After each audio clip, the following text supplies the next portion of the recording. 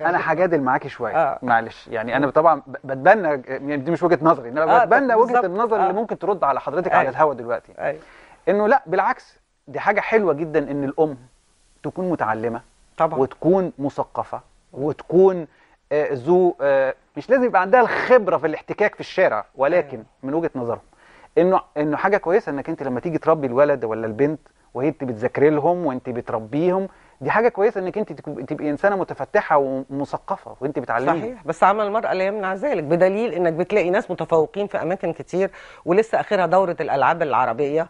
اللي جابوا لنا الذهب سبع ميداليات دول آه. أمهاتهم بيشتغلوا. ده ده ده ده حصل كل. ميداليات الذهب. يعني أنا أقصد أقول لحضرتك كل اللي جابوا لنا الانتصارات دي اللي رفعت علم مصر كلهم أمهاتهم بيشتغلوا وقالوا إن أمهاتهم ما, بيسيبوهمش لحظة وإن هم اللي تبنوهم هم السبب في تفوقهم الرياضي. نفس الحكاية هتلاقيها في التفوق العلمي.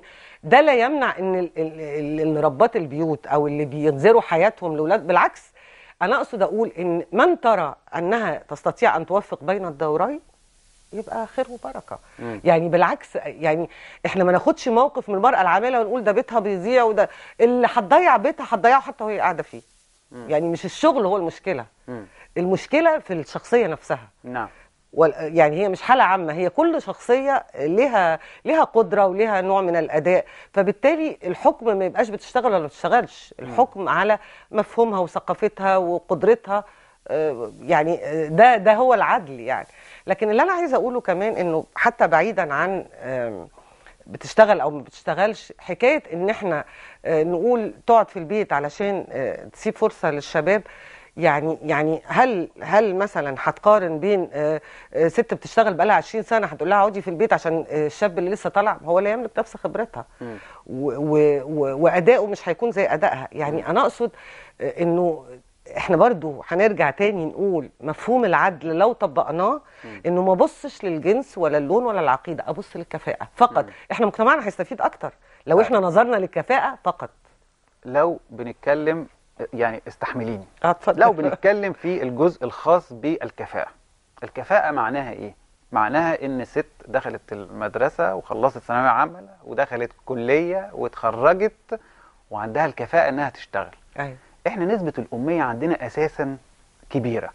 وعندنا بقى نسبة الفلاحين اللي بنحترمهم كلنا وبنحترم السيدات اللي موجودين في آه، القرى والنجوع و و و اللي هي نسبتهم الأكبر.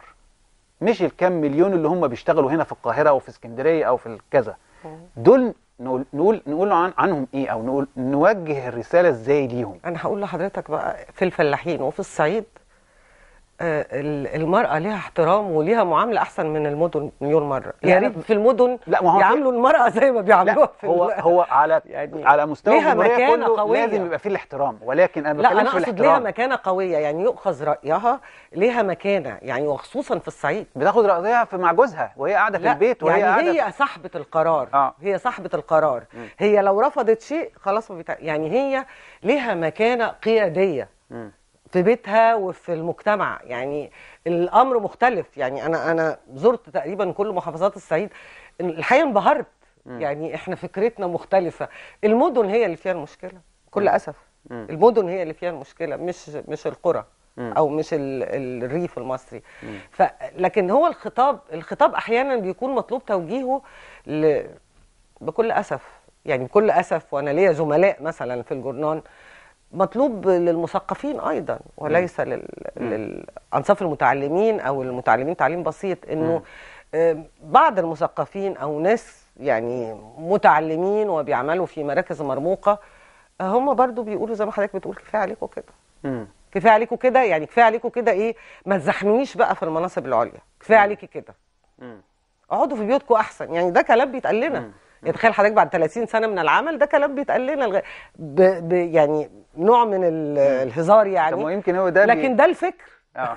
ده الفكر. آه. ما هو ده الفكر وبعض الأحيان بي- بيبقى ب- بسبب أو بآخر مثلا في في في إن كنتوا وصلتوا كمرأة يعني إن كنتوا بتاخدوا حقوق كتيرة جدا حتى في الناحية. القضائية أو الناحيه ال أصل يعني دي مش حقوق آه. دي, دي مش حقوق يعني أنت مش خدت حقوق كتير نعم. أنت فضلت مانع آه، آه، إن الست تبقى قاضية كل الدول العربية م. وبعض الدول الإفريقية بقى فيها قاضيات نعم. يعني أنت لما يبقى عندك مستشارة تستحق إنها تكون قاضية بتاخد حد أقل منها وما بتاخدهاش هي لأن هي ست أنت بتعاقبها ليه مم. ربنا اللي خلقها ست مم. وخلقها أيضا ذات عقل. وقدرت تتفوق وقدرت تبحث وتدرس ويعني. يعني وصلت لمكانة معينة هل يتم تجاهلها لأنها امرأة يعني أنا برضو عايزة إيه إحنا.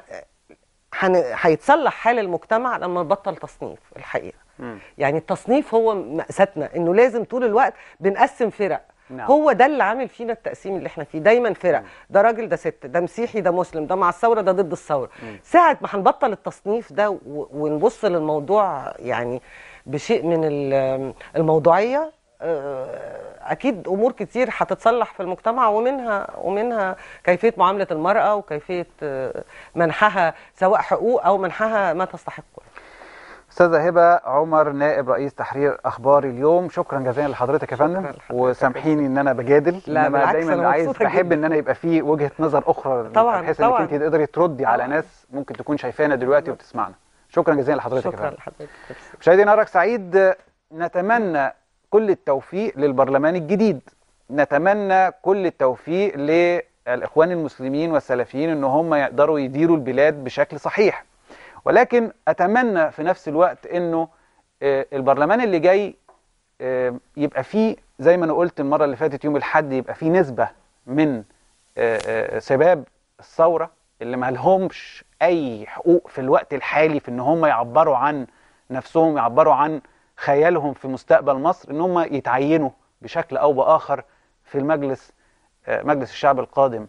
ومن كلامي مع الأستاذة هبة برضو أعتقد إن إحنا محتاجين نزود نسبة السيدات داخل آه، آه، آه، مجلس الشعب القادم.